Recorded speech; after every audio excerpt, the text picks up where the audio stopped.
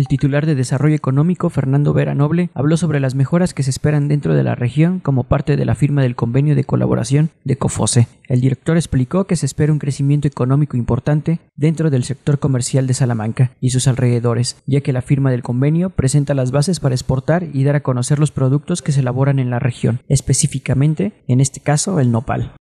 Confose tiene, en cuenta, tiene una inteligencia de mercados para poder, si yo eh, quiero exportar ese producto, es un producto pequeño, los, nopales, pero tienen un potencial, los japoneses han venido a, buscar eso, eso los, nopales lo están, lo están exportando, lo estamos, y poder nosotros como, como municipio, poder incrementar nuestras ventas a todos los mercados que no solamente sean Estados Unidos, sino Japón y otros países de ese tipo, eso nos dará la fortaleza.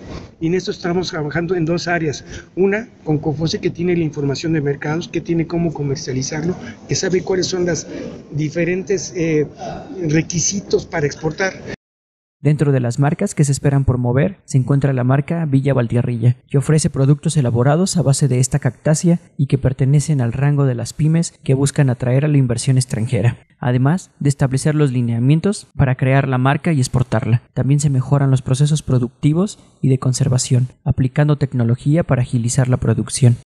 Si yo hago unos procesos en casa y estamos trabajando ya en, eso, eh, ellos cómo mejoran el proceso casero, cómo mejoran lo que es la inocuidad, cómo mejoran todas sus características para que ese producto que yo hago tenga un registro de marca, tenga una, una eh, digamos, un código de barras y etcétera, todo lo que se necesita para poder exportarlo.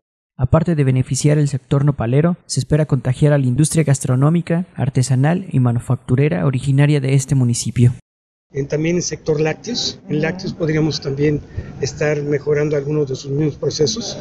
Hay algunas empresas del sector eh, también eh, químico, también podríamos estar mencionando.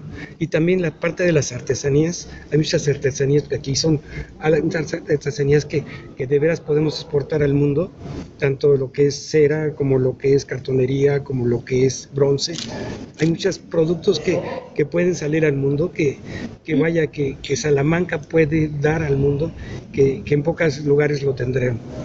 De acuerdo con el convenio, durante el mes de enero y hasta el mes de noviembre del 2018, Salamanca se posicionó en el segundo peldaño a nivel nacional en la exportación de productos, principalmente en la fabricación de autos, y adicionalmente se lograron generar 6.371 empleos. Con información e imágenes de Noraima Castillo del Salmantino, informó para TV Libertad Antonio Barajas.